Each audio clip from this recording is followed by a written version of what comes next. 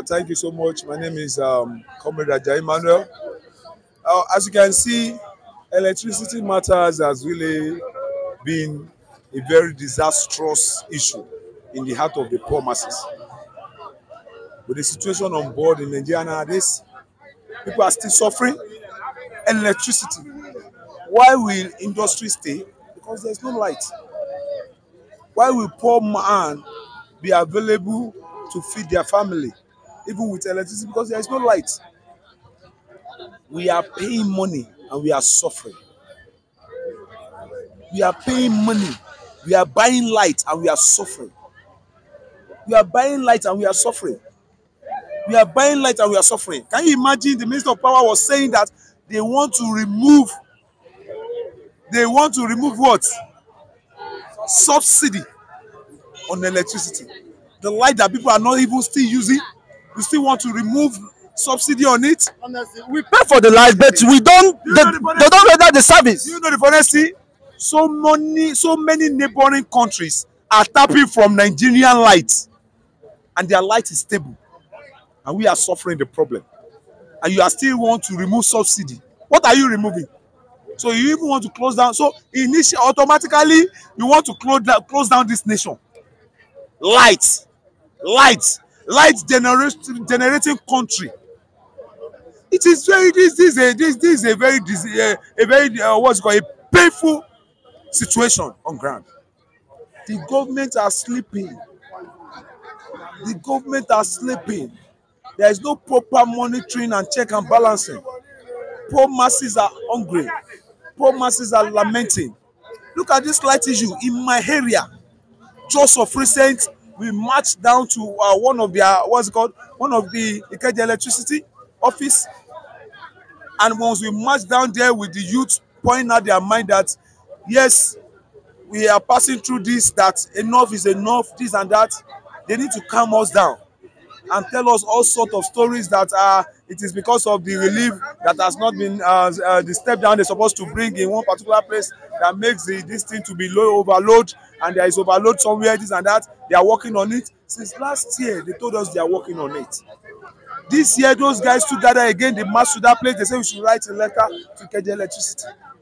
We forwarded a letter to ikeja electricity. At the end of the day there is no feedback.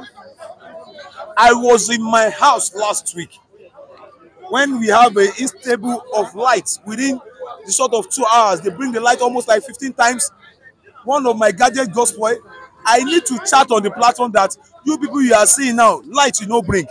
The one wey still bring sef don spoil our gadget for house. That's what i say on the platform oh, they remove me. What are we suffering from? Poor masses are suffering. Do you want to keep poor masses why hear the cry of the poor masses don stay in abuja there and just be seeing from afar. Feel the pain of the poor people.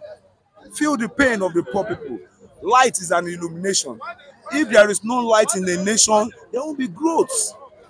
If there is no light in a nation there won't be growth. You people are shouting dubai qatar today saudi arabia all those countries today. If their light system are not working there won't be growth. Check it very well electricity goes a long way. Electricity is different from generator. Electricity is different from solar.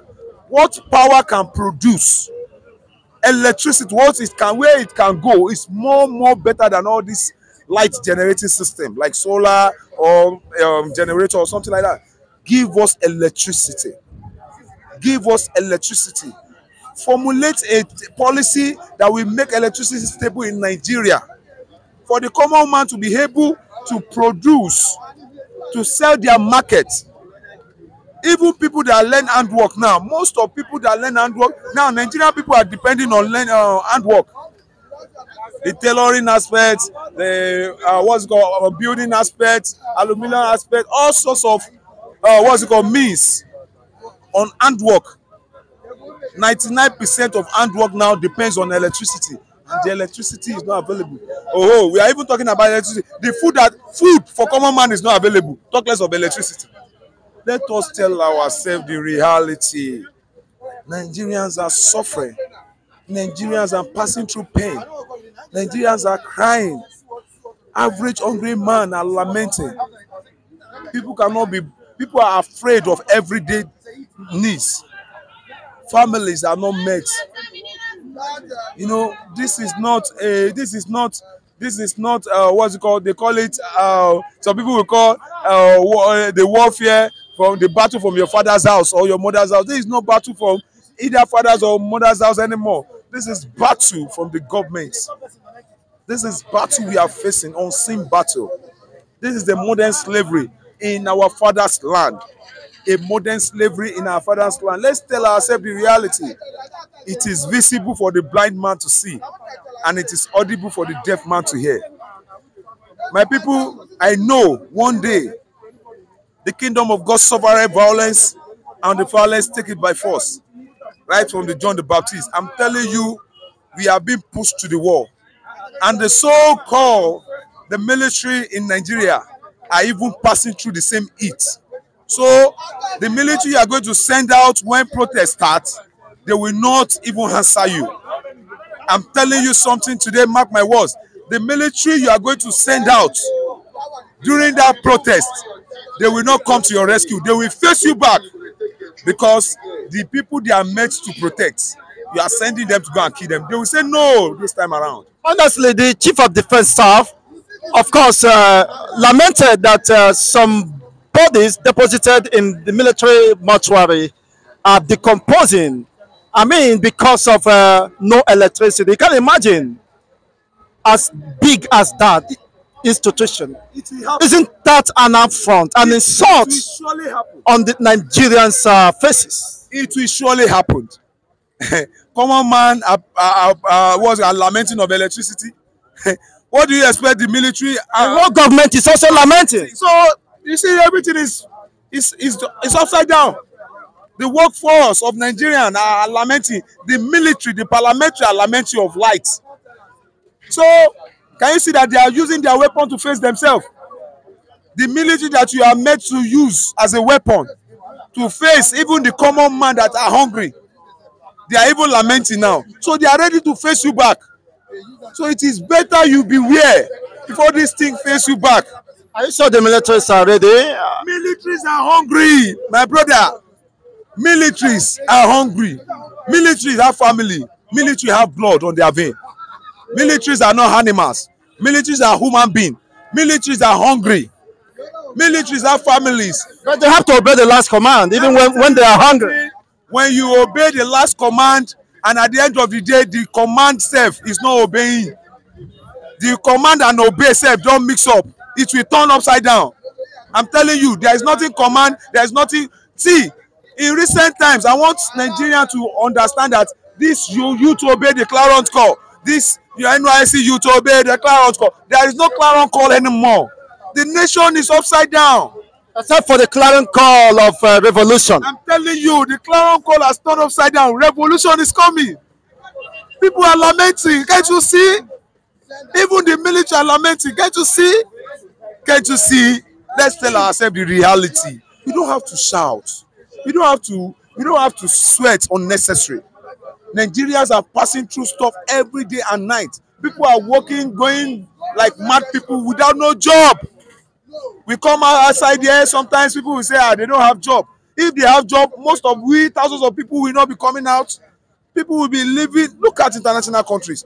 Many neighboring countries have gone back to their country. You can imagine uh, CFAS. Uh, Cotonou here. Oh. One CFAS, uh, CFAS is, is 1,300. I said that many of these neighboring countries, including Seme, all these people, Togo, they have gone back to their country because their country has been stable. Their money has been so valuable than our money. Honestly, 1,000, I am- one, one is 1,300 naira. Don't deceive, don't, don't, don't lament. Don't lament. We are far from our position, my brother.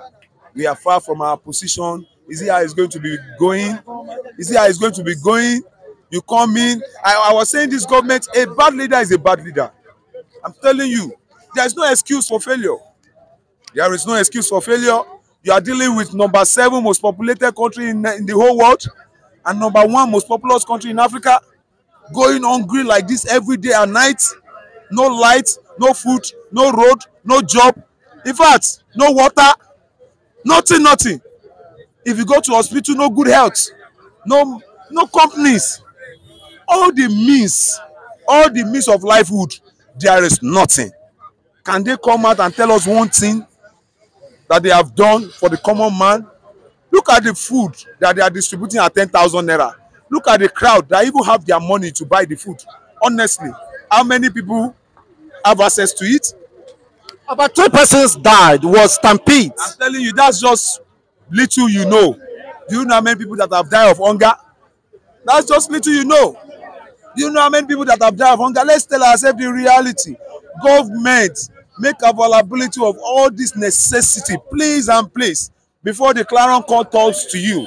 Because if it turns to you it will it will you won't have nowhere to run to.